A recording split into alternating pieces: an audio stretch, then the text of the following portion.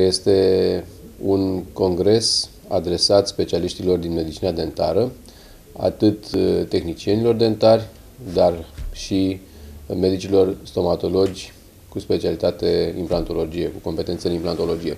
Pe un număr redus de implante, un pacient poate să primească restaurări fixe. Asta este de fapt tot conceptul de a nu mai fi invazivi, de a fi minim invaziv și de a obține niște rezultate satisfăcătoare și estetice și funcționale.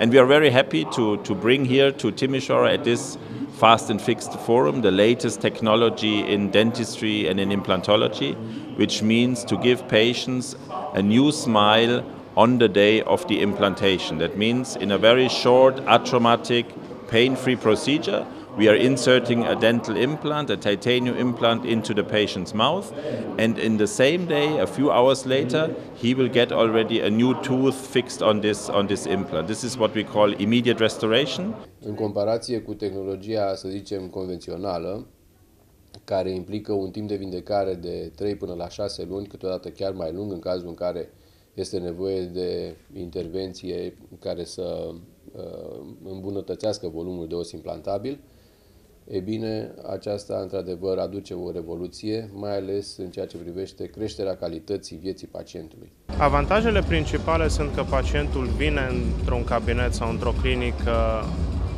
chiar fără dinți, primește implantele și în principiu cu o bună pregătire a cazului poate să primească și dinții provizorii în aceea zi.